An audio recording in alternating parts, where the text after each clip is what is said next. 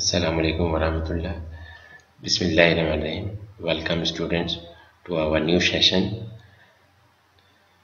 In this session we have the topic hands-on multiplication. These are in page number 721. Please open page number 721. We have the multiplication question and some models are there. We have to shade them. In question number 3, 4 multiply 1 upon 2 when you will multiply 4 by 1 upon 2 we will get 4 ones are 4 upon 2 4 divided by 2 is 2 now we will can color the models. There are 4 multiply 1 upon 2 so there are 4 boxes. We will color them half. Half color 4 boxes. When you will combine this color you will get two boxes completely colored two half will become one and two other two half will become 1 so we have two full colors.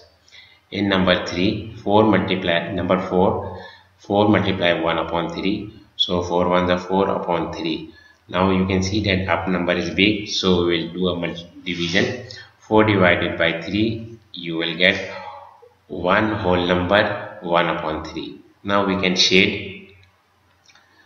Third part there are four boxes. So we will color third line third part of all the boxes. When we will combine this color we will get one full color and third part of the one.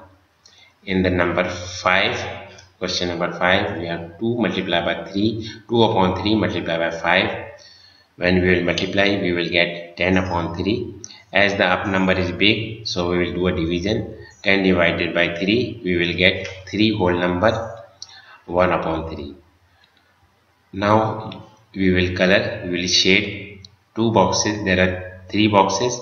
We will color two of them. We will color four four models. Each model one two three four five models are there. So we will color two part of them. When we will combine the color we will get three will bo boxes will be full color and one boxes will be colored only the fifth one next is number six. That is 3 multiplied 2 upon 3 when we multiply by them we will get 6 upon 3 6 divided by 3 is 2 and we will color the models accordingly. Thank you very much. Student i hope that you understood the lesson.